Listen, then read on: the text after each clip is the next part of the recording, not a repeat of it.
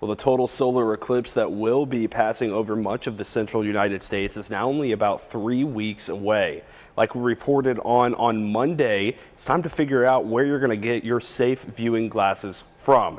Sadly, the ones from 2017 will be expired, but the ones from October 2023's annular eclipse, those will be good to go. If you don't want to spend money on glasses this year, I do have good news for you. There is a way to make your very own Eclipse viewer at home. The first thing you're going to need to do is find a shoebox and then cut two holes in the side of that box. Then you're going to want to add tinfoil to one of those two square holes.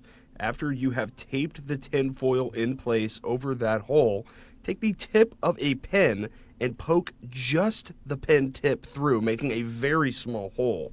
After that, open the shoebox lid like I've done here. Tape paper to the back side of the box adjacent to the two square holes, and then close the top.